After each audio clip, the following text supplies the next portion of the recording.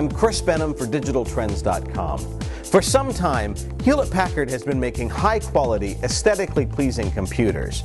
And from what we've seen over the past few years, it seems pretty obvious that they've been successful in their efforts. Keeping with tradition, the newest addition to the HP family is the Pavilion S3020N Slimline PC. It is slim in size and weighs only 14 pounds, all packed into a very small footprint. We'll help you decide if this is the next PC that will fit all your needs.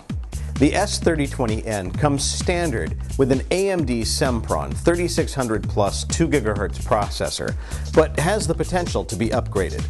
The dual core processor costs a mere $90 US, but the performance enhancements are dramatic. Out of the box, it only comes with 512 megs of RAM, but is upgradable to 2 gigs, which we would suggest for you Vista users. The S3020N comes with Windows Vista Home Premium, so you can trust it will handle Microsoft's newest operating system. But if preferred, it can also be configured with Windows XP Home or Pro. There are a number of ports and jacks to hook up all your gear, including a 15-in-1 memory card reader, headphone jack, and HP's Pocket Media Drive Bay.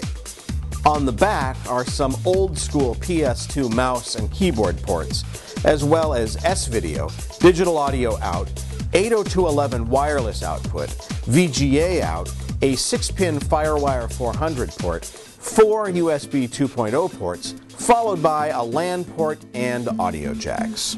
We weren't too thrilled with the stock NVIDIA GeForce graphics card, so you might want to add a new one to your list. Also, if your Bluetooth device is having trouble linking up with the S3020, it's not your peripheral. The S3020N does not have Bluetooth unless you add a USB 2.0 adapter. The keyboard and mouse aren't much to write home about either, but will complete your basic needs. Our initial boot up time took less than five minutes, and once configured, took about three minutes before all systems were running. This wasn't totally impressive, but not completely embarrassing either.